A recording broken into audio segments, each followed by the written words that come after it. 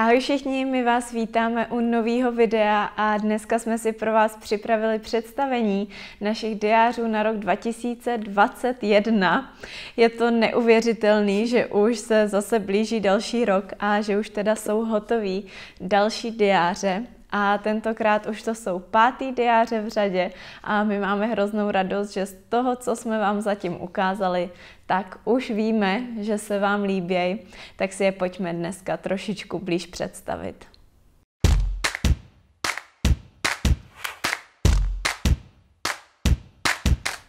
Jako první se můžeme pobavit o tom designu diáře. My jsme i letos dávali takový post, kde jste viděli vlastně čtyři různé návrhy a mohli jste si vlastně vybrat, který se vám nejvíc líbí. No a ten, který všechny ostatní převálcoval úplně na plný čáře, byl právě tenhle a byl to i náš favorit. Nám se na něm hrozně líbí ty barvy, že jsou vlastně takový hrozně příjemný na pohled a podle nás takový, který se vám neokoukají během toho celého roku. No a zároveň uh, si naše ilustrátorka Barča z Nikolajky hodně pohrála i s tím nápisem, který je tentokrát takový víc jako, no takový jako centrální, uh, jako, jak to říct, prostě bod toho celého designu. Mhm. A já jsem z toho úplně nadšená. I letos má diář tu svoji vlastně tvrdou vazbu a ty diáře jsou si podobný designem, ale mají trošičku odlišnou kombinaci těch barev, aby byly vlastně rozpoznatelný jak v knihkupectví, tak na e-shopech, abyste prostě přesně věděli na první pohled, který je který. No a potom je důležitý zmínit to, že eh, vevnitř jsou letos oba dva diáře stejný. Letos to nerozlišujeme na motivační a jenom diář, ale oba dva jsme nazvali diář a jsou motivační tak trochu. To vám ukážeme hned, jak se podíváme dovnitř. I letos na diáři najdete gumičku, kterou můžete diář zavírat, záložku, kterou můžete použít na to, abyste se v něm rychle orientovali a na zadní straně najdete kapsičku, kam si můžete ukládat všechny vaše důležité doklady, samolepky, i nějaký různý vzkazy nebo třeba vstupenky, který si chcete založit a vracet se k ním a vzpomínat. No a když už se potom podíváme dovnitř, my s Nikčou budeme teda listovat společně, ale jak už Nikča říkala, tak ty diáře jsou vevnitř stejný, tak nejdřív tam najdete stránku, kam si můžete vyplnit, komu ten diář patří, to už je taková klasika, nějaký základní informace o vydavatelství. My moc děkujeme zase našemu nakladatelství Booklab, že do toho šlo už po pátý s náma a pomohli nám vytvořit diáře, který se právě teďka budou prodávat nejenom teda na našem e-shopu, což je taky důležitý zmínit, ale i v knihkupectvích, takže to je možná fajn zmínit takhle na začátek.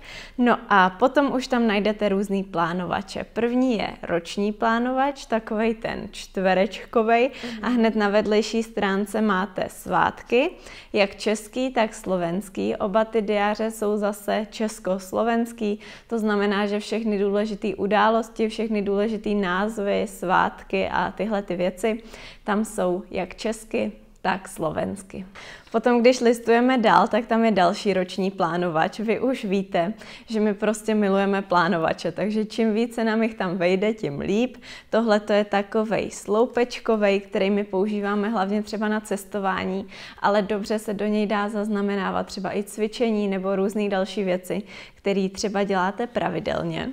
Potom je tam měsíční plánovač a to je prostě už taková naše klasika. Jeden z těch našich nejoblíbenějších plánovačů a ten, který asi nejvíc používáme, protože nám přijde prostě nejpřehlednější vidět celý ten měsíc na jedné dvoustraně, takže ten nemohl chybět a dál už tam je potom dvoustrana, to je právě taková novinka toho diáře na příští rok, už jsem zase skoro chtěla říct letošního. A my jsme se rozhodli, že tentokrát právě vynecháme ty motivační texty a různé úkoly, ale zapojíme tam různé motivační citáty a ilustrace.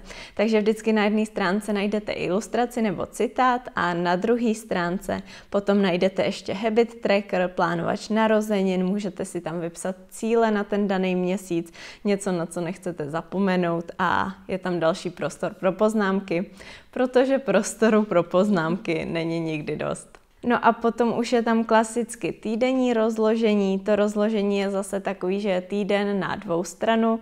Nám tohleto rozložení vyhovuje nejvíc a myslíme si, že když i vy už jste na to takhle zvyklí, tak to prostě není potřeba měnit a vždycky u každého týdne je ještě prostor na to-do list a na poznámky. U nějakých dnů zase najdete takový ty naše drobné vzkazy, jako že vám to třeba sluší, nebo že tenhle ten den prostě bude skvělej, tak to nám přijde jenom jako takový hezký detail a už máme docela zkušenost, že jsme se občas trefili, že jste třeba fakt měli nějaký důležitý den a zrovna jsme vám popřáli štěstí. Tak z toho máme vždycky radost, když se něco takového stane. No a na konci měsíce je potom ještě další dvoustrana na poznámky kam si právě můžete psát další poznámky. A začíná další měsíc. Abyste si ještě mohli líp představit, jak vypadají ty citáty a ty ilustrace, tak vám tady pár z nich ukážeme. Kreslila je pro nás Barča z Nikolajky, kterou už můžete znát i z naší knížky a dáme vám tady odkaz na podcast, který jsme s ní nahrávali. No a to je tak nějak všechno ke vzhledu těch diářů. A ještě teda důležitý zopakovat, že v prodeji jsou na našem e-shopu, kde pokud si ten diář objednáte, tak k němu dostanete ještě i set základních samolepek. Moje asistentka ukáže. Uh, takže to budete mít od nás jako takový bonus ještě tyhle ty základní samolepky. A potom od půlky září budou diáře k dostání už v každém větším knihkupectví. A taky v září se vydáme na autogramiády, bude autogramiáda v Praze, autogramiáda v Brně, autogramiáda v Ostravě a autogramiáda v Plzni. Abych to nespletla, tak radši neříkám data a časy, to vám tady někam vypíšeme. Tak doufám, že se potkáme třeba i tam. No a i na letošek jsme si pro vás připravili k diáři ještě takovou kolekci dalších věcí z papírnictví. A letos jsme si pro vás připravili opět set dvou tužek. Jsou v tom designu toho diáře. Jedna růžová, jedna víc taková ta vlastně béžovo-šedivá barva. A krásně se s něma píše, jsou to vlastně ten stejný typ, jako býval v předchozích letech, taková ta střední tuhost té uh, tuhy, Tvrdost, se, tvr, tu, tvrdost tuhy a uh, hezky se s tím píše i kreslí.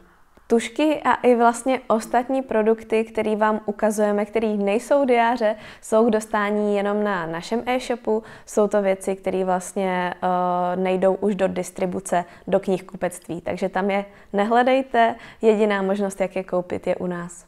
Potom další produkt, který jsme si k diářům připravili, je to-do list To-do listy jsou naše oblíbený, ale asi všechno, co vám tady ukazujeme, by se o tom dalo říct, že je naše oblíbený, takže určitě vám můžeme to-do list doporučit.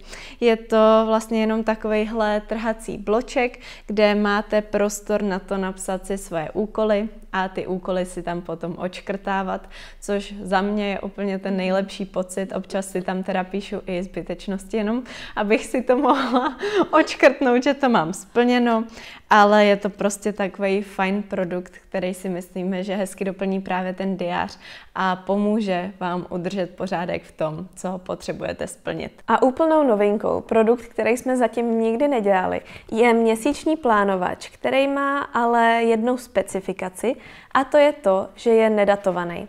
To znamená, že máte vlastně takovejhle eh, plánovač na celý měsíc, ale nemáte napsaný, na který měsíc to je. A to proto, aby vás to nelimitovalo v tom, kdy ho začnete používat. Můžete začít kdykoliv, klidně rovnou už teďka, nemusí to být ani konkrétní rok, kdy s tím začnete. A jediný, co musíte udělat, je si vlastně vyplnit, který měsíc to je a vypsat si vlastně datumy toho měsíce. No a potom už máte tenhle ten náš opět oblíbený přehled měsíce, který uh, my máme rádi vždycky mít na stole a píšeme si do toho třeba, kdy budeme vydávat články a nový videa, ale vy ho můžete používat úplně na cokoliv. Ale třeba v práci si myslím, že by vám takhle mohl pomoct mít ho takhle na tom pracovním stole. No a druhá možnost, jak ho používat, je ho za ty kroužky, který má, Eh, navěsit na nějakou šňůrku a pověsit si ho třeba na zeď, anebo si ho připíchnout na nějakou vaší nástěnku. Máte tam teda 12 takových měsíčních plánovačů a za každým z nich Následuje ještě stránka, na který je vlastně prostor pro poznámky a je tam opět to-do list. Takže takový jako produkt, který obsahuje spoustu místa pro vaše plány a mohl by vám pomáhat v tom, abyste je opravdu splnili. No a to je všechno z těch našich produktů. To bylo docela rychlé. Já doufám, že jsme vám odpověděli na všechny otázky, které jste ohledně diářů a produktů mohli mít. A pokud ne, tak budeme moc rádi, když nám napíšete dolů do komentářů. My to samozřejmě budeme zase všechno číst a když tak ještě odpovídat a doplňovat informace. No a to je od nás teda pro dnešek všechno. Doufáme, že se vám tohle video líbilo, že třeba si diáře pořídíte a budete s náma plánovat. Určitě nám taky dejte vědět, jestli jste spíš tým malý diář, což si myslím, že je spíš Nikča, anebo velký diář, což jsem já. A uvidíme se teda zase příště u dalšího videa. Ahoj! Ahoj.